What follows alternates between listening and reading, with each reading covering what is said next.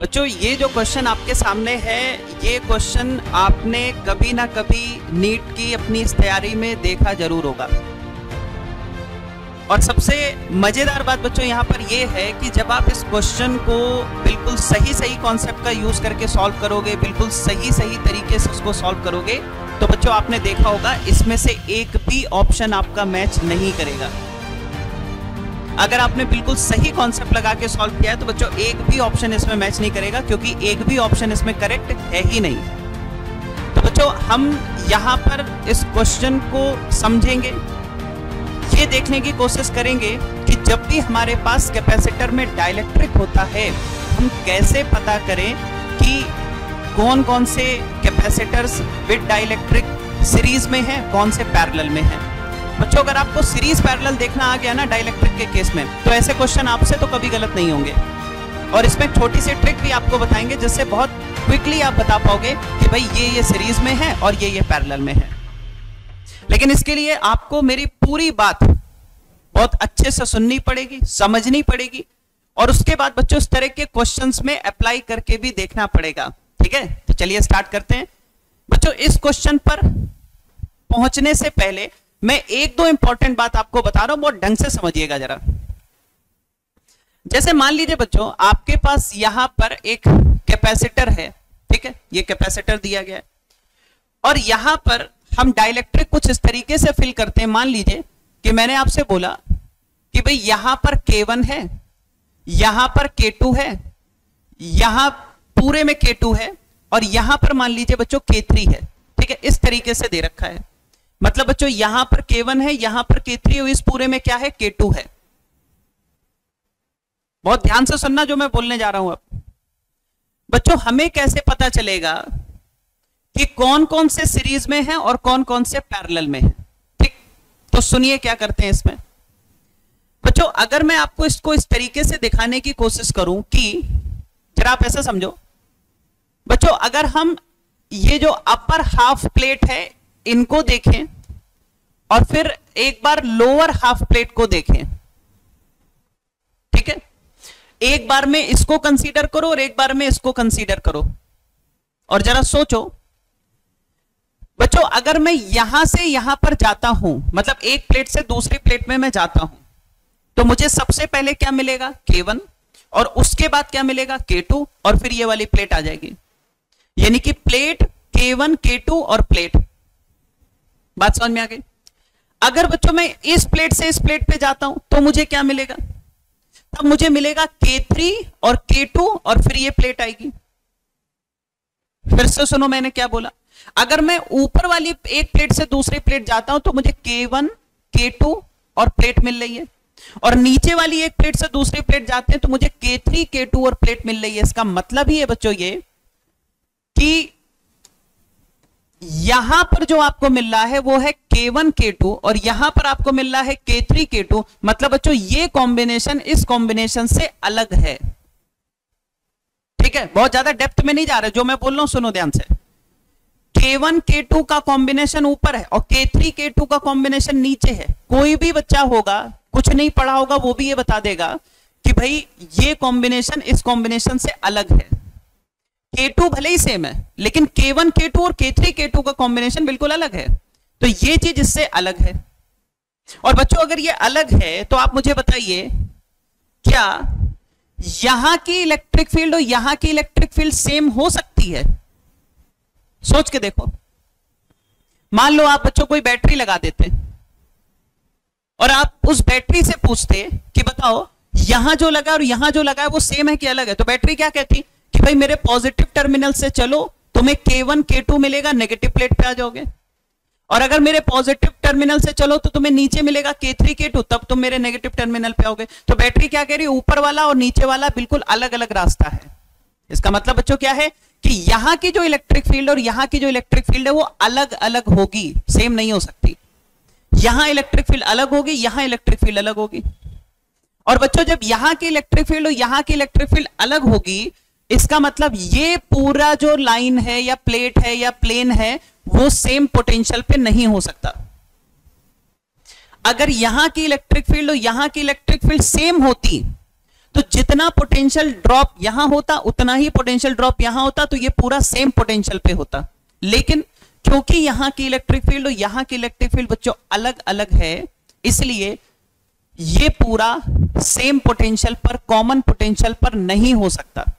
और अगर बच्चों ये पूरा सेम पोटेंशियल पर नहीं है तो आप यहाँ से काट नहीं सकते, यहाँ से कट नहीं कर सकते। और बहुत से बच्चे यहाँ पर गलती कर जाते हैं, वो यहीं से कट कर देते हैं। और यहाँ से कट करके क्या बना देते हैं? ऐसा कुछ। भाई यहाँ से अलग कर दिया और ये ऐसा बना देते हैं कि भाई ये K1 K3 हो गया, यहाँ K2 हो गया सॉल्व कर लेते हैं, बिल्कुल गलत है। बच्चों, यहाँ से तो तब काट सकते थे ना, जब ये पूरा सेम पोटेंशियल पे होता। ये सेम पोटेंशियल पे है ही नहीं। क्योंकि यहाँ की यहाँ की इलेक्ट्रिक फ़ील्ड अलग है तो ये एक पोटेंशियल पे आ नहीं सकता, इसलिए बिल्कुल गलत है। तो अब आप पूछोगे, सर, सही तरीका क्या इसको सॉल्व करने का? बच्चों, इसको सॉल्व करने का सही तरीका तो बिल्कुल क्लियर है। ध्यान से देखना जरा। जैसे आपने बोला, बच्चों, यहाँ पर K1 है, यहाँ पर पूरे में K2 है और यहाँ पर K3 है। तो हमें कैसे पता चले कि कहाँ से कट करना है? सुनो ध्यान से। बच्चों, आपको यह तो पता चल गया कि भाई हम यहाँ से कट नहीं कर सकते तो अब हमें क्या करना होगा? सुनो।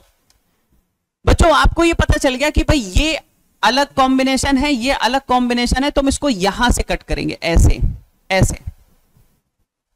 ठीक है? ऐसे कट करेंगे कि बच्चों प्लेट कटनी चाहिए। यही ट्रिक है, ध्यान से सुन लो। हम ऐसे कट करेंगे कि ये जो मेटल की प्लेट है, ये कट जाए।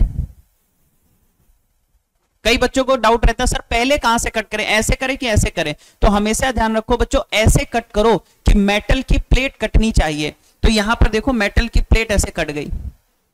ठीक है? और जैसे ही बच्चों ये मेटल की प्लेट कट जाएगी, अब यहाँ से देखो ये ऐसा कुछ बन जाएगा। ये बच्चों ऐसा बन जाएगा। अगर तुम तो मेटल की प्लेट काट दो तो यहाँ पर K1 K2 हो जाएगा और यहाँ बच्चों K3 K2 हो जाएगा। ठीक है? इसके बाद आप फिर अलग अलग कर सकते हो। कि ये दोनों सीरीज़ में हो गए, ये दोनों सीरीज़ में हो गए और ये पैरेलल हो गया। तो मुझे लगता है बात समझ में आ गई होगी आपको ये। अब बच्चों, हम इस क्वेश्चन पे आएँगे, इस क्वेश्चन को सॉल्व करेंगे, इसके सही आंसर तक पहुँचेंगे, ठीक है? जरा देखते हैं।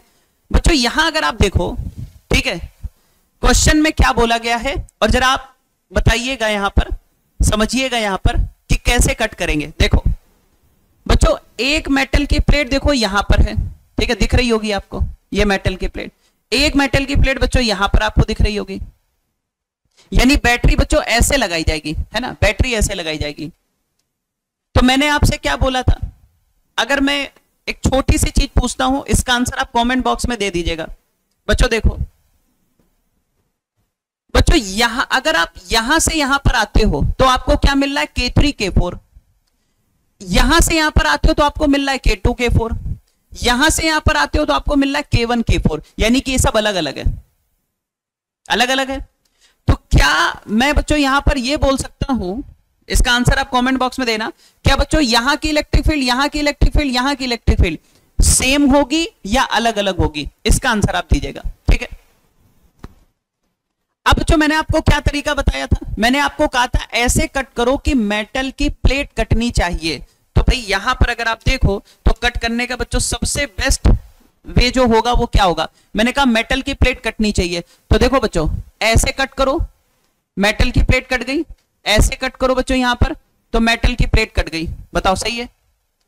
ऐसे काटोगे मेटल की प्लेट प्लेट कटनी चाहिए। अब जो जैसे ही आप ऐसे कट करोगे, देखो ये आपके सामने ऐसा कुछ बन के आएगा कि भाई यहाँ पर अगर हम देखें तो एक बच्चों ये बन गया प्लेट कटनी चाहिए। ठीक है? ऐसा बन गया। है ना? यहाँ तक कोई दिक्कत नहीं होगी। अब बच्चों, जरा के वन के टू ये सब समझ लो। तो भाई देखो यहाँ पर। डी बाय टू में क्या है बच्चों? के वन और नीचे क्या है? के फोर फिर ऊपर डी बाय टू में के टू यहाँ पर के फोर बच्चों, यहाँ पर के थ्री और यहाँ पर के फोर और ऐसे ये आपको दे रखा है। बताओ, यहाँ तक समझ में आता है? ये सही तरीका है क्वेश्चन सॉल्व करने का। ऐसे कट करो कि मेटल की प्लेट कटनी चाहिए। चलो आगे बढ़ो। अब बच्चों ये दोनों किसमें है? सीरीज़ में है। ठीक है? आप चाहो तो इनको ऐसे भी ड्रॉ कर सकते हो। कैसे? भाई आप इसको ऐसे ड्रॉ कर लो। ऐसे। ठीक? फिर यहाँ पर ऐसे ड्रॉ कर लो। फिर यहाँ पर ऐसे ड्रॉ कर लो। मुझे लगता है इसमें कोई दिक्कत नहीं होगी। और बच्चों, रही बात इसकी तो ये K1 ये K4 ये K2 ये K3 यहाँ पर K4 यहाँ पर K4 तो क्या बोलोगे? कि सर ये दोनों किसमें है? सीरीज़ में। ये दोनों किसमें है? सीरीज़ में। ये दोनों किसमें है? सीरीज़ में। फिर ये तीनों आपस में क्या है? पैरेलल ठीक है? आप जरा सुनना।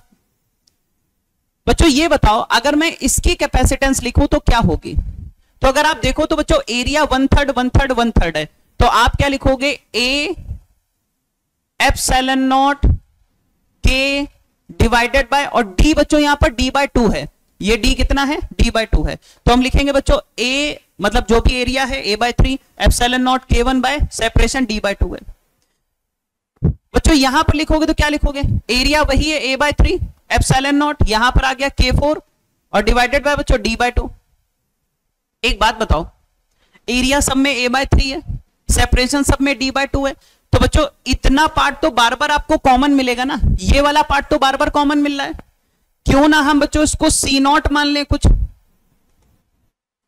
इसको बच्चों हम सी नॉट मान लें तो लिखना थोड़ा सा आसान हो जाएगा। तो बच्चों, आप क्या बोल सकते हो?